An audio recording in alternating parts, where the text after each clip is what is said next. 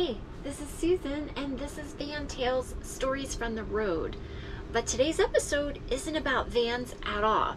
Today, I'm going to be looking at much smaller vehicles, and I'm going to be talking to the owners on their setup and how they've made these small vehicles conducive for long term travel and part time living as they tour around the US. First up, I'm going to be talking with Leeza and Cody, and they have been traveling in their Mazda, which they bought in Hawaii, and they've gone to every state in this vehicle except Florida and Alaska. So it says two seconds three here. It's a lie. It's a. It is a lie. Wow, how is it a lie? I don't understand. So it comes, well, we have to fold it back up and it goes into a circular kind of pattern.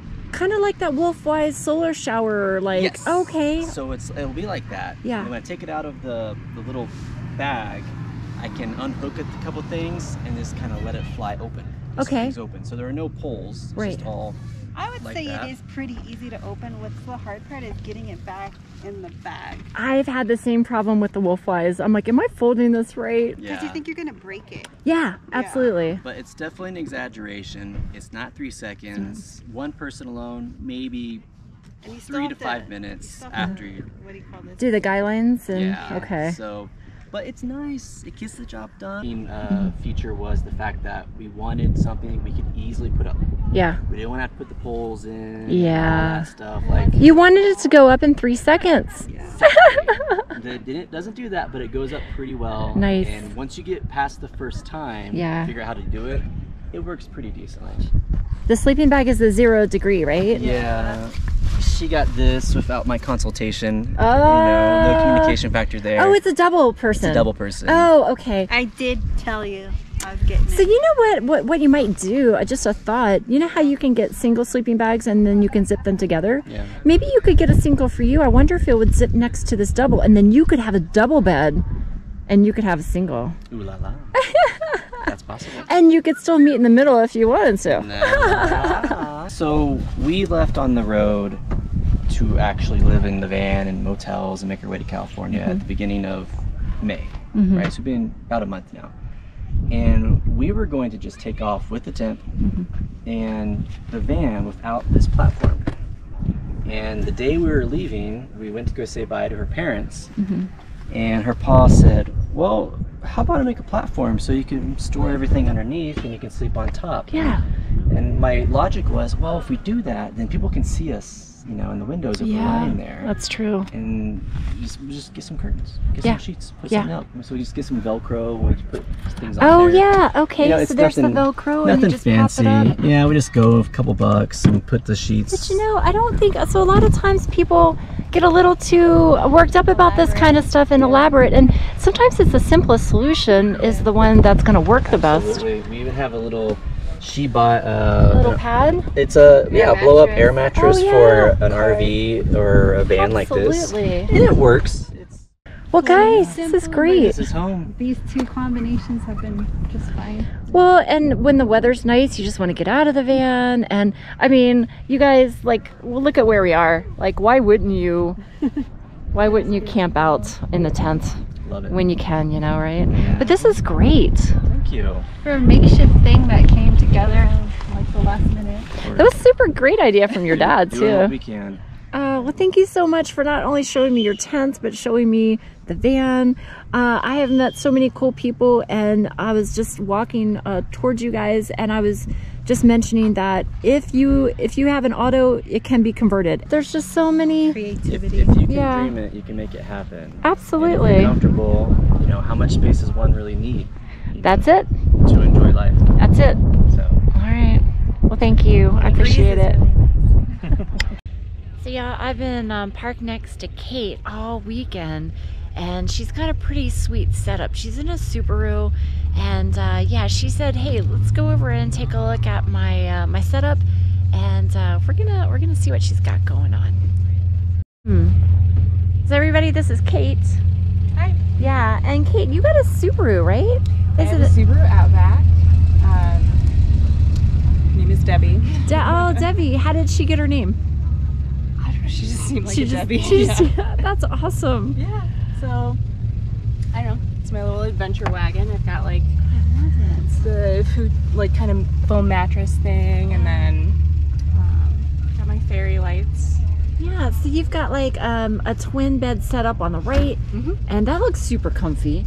And It's then pretty comfortable, yeah. Yeah, and then also the other day you were telling me about these um, these awesome um, paintings Oh, that the you have yeah. on on the back of the headrest. So yeah, my friend, um, her name's Laura Lee Mm-hmm. Grace, and she does painting. So um, these were some of her like practice paintings for like the the skyscape, and I bought them from her because I was like, these are gonna be perfect. Oh yeah, well they fit perfectly. They're the perfect size, and Yeah. uh, I love how you've just like uh, created a space there. That's No, awesome. Yeah. And then I've got my food situation here, Oh nice. um, food and like some cooking stuff.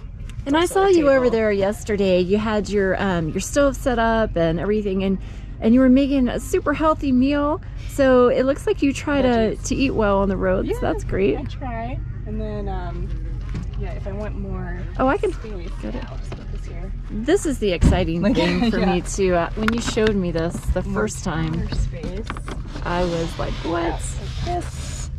I don't like cook with the stove on this or anything, but it's good for like if I want to chop stuff. Oh, that's a great idea. Yeah, little workspace. Yeah. Yeah, and then um, you mentioned the other day that underneath of that you actually have Oh additional yeah. food I've got storage. extra food stuff. Um, Oh, oh yeah, look at that. This is so. some If you guys run into Kate, this is where she stashes all the good stuff. Yeah. and I've got this like little. Come around this way. Well, I've got my bug screens, and these are my WeatherTech. Um, they're like for rain. Oh, So- they're little magnets. Yeah, so I've got the ceramic magnets here, and then this is for if it rains, if I want to like Yeah. keep this open. And so you know when you get on the road, you take this off, of course. And Yeah, totally. Yeah. So I'll Oh, take this off okay. in a bit, and then got my Reflectix. I want to get some airflow, Well, that's a great Do little uh, Yeah. setup. just like a little X-Acto knife cut here. The thing that gets me with this type of lifestyle is the solutions that people come up with to get Yeah. around some of these problems. It's great. Yeah, and I'm not I'm not like full time. This is more just like my adventure. I mean, Mobile, it's a, the adventure wagon, just like you said. Yeah. It's great. And this cooler is cool because you can um, plug in hmm Oh, to like the cigarette lighter while Yeah. I'm driving, and then Oh, more good stuff in there. Yeah. Yeah. So And that's um, also, um, the Oh, other yeah. day I was setting up my awning, which we had that big gust, of course. Um, but I saw yours, and it's really stable, Mm-hmm. and uh, it's such a, a nice space in here. yeah, it's So- a, I think it's called the Eureka screen tent or like bug tent or something like that. I love it. I just got it mainly for mosquitoes. Yeah.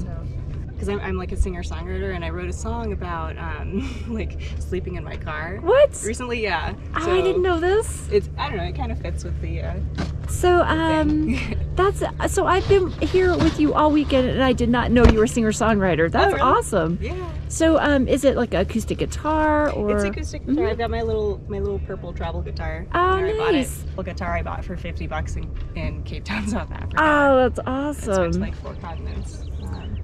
Um, Four continents with this guitar. yeah. And it's just a little guy, so it'll go anywhere. Yeah, it's very yeah. Awesome. And I Okay. know. I I liked the the song. It was nice to like write a song while I was actually sleeping in the in the car. Yeah, absolutely. Well, cool. Thanks for sharing that with us. Yeah, definitely gonna check that out. So, where are you headed after this? More I'm- adventures? Yes, I'm heading north. I've got a week of vacation, so I'm meeting a friend at Crater Lake, Oh, yeah. and then yeah, I'm gonna go hang out in Southern Oregon. Yeah, I think you're gonna love it there. There's so much to explore, and the country's beautiful. I'm excited. Yeah. Yeah. All right. Well, thank you so much for showing me your Yeah, setup. This is awesome. Hopefully, our paths will cross again. Perhaps. Okay. Thank you, Kate. Yeah. Well, I want to thank Cody and Leeza and Kate uh, for showing us their vehicles. They have some really cool solutions and great setups. And I just want to say that you don't need a fully converted van or ambulance or um, Vanagon or what have you to get out there and travel and hit the road. And uh, some time ago, someone approached me and they said, just buy a van, get an air mattress, throw it in the back, and hit the road. You'll begin to convert it as you go along. And in retrospect, I wish I had done that. I could have been on the road years ago. Uh, anyways, I hope you enjoyed today's episode. If you did, you know what to do. Mash that like button and consider subscribing if you haven't already. It was really great having you guys uh, on for this one, and I hope to see you on the next one. Take care. See you on down the road.